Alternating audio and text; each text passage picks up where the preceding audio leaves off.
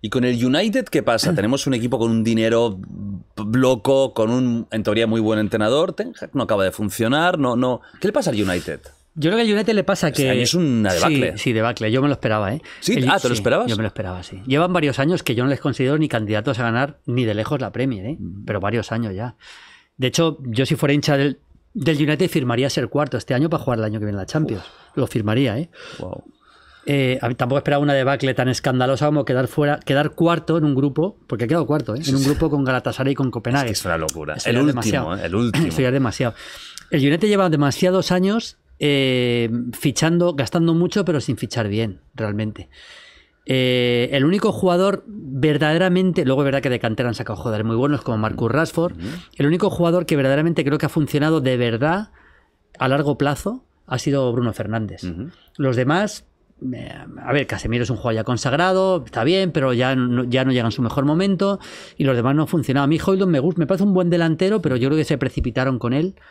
Eh, creo que estaba todavía por un equipo intermedio y por eso van a ir a por ir así.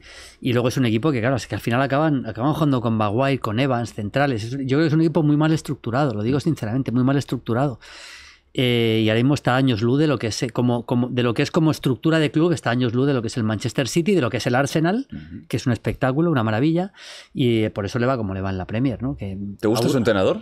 Eh, Tenag. Sí. A mí siempre me ha gustado Tenag, me parece un buen en el. Ajax, ¿no? sí, en que- aquel Ajax Casi sí. para el Barça, ¿no? Decían Sí, que, era ideal para, Sí, para a ser mí, a mí siempre me ha gustado Tenag, me parece. No, no creo que sea un problema de entrenador, ¿eh? Lo de. Lo de eh, lo- sí que ha habido algunos fichajes que no han funcionado por el, por ejemplo, con lo que pasó con. eh, con eh, no me sale el nombre ahora, un- el holandés aquel que estaba en el Ajax, que jugaba por delante del Van de Beek. Va- Van de Beek. Lo que pasó con, con Van de Beek era muy claro, porque llega Van de Beek y Van de Beek es un jugador para jugar eh, en un 4-2-3-1 por delante del doble pivote. Van de Beek al final le meten de interior en un 4-3-3 y ahí no funciona. Se fue estrellando, estrellando y, y- no acabó funcionando. O sea, yo creo que al final la adaptación de algunos jugadores al esquema no funcionó.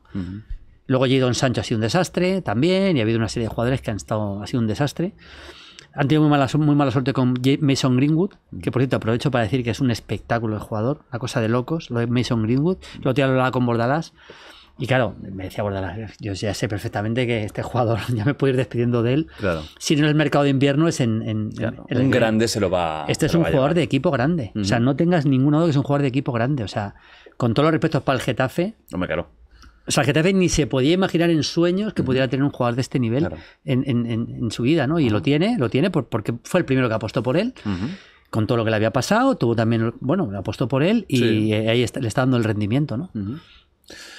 ¿Ves a, ves a, a Ten Hag eh, continuando o, lo van a acabar echando? Difícil, difícil. ahora Ya ya son bastante, años, ¿no? bastante aguantado ya, ¿eh? Yo pensé que la eliminación, ya ser cuarto en Champions, fíjate, el otro día empataron a cero con el Liverpool.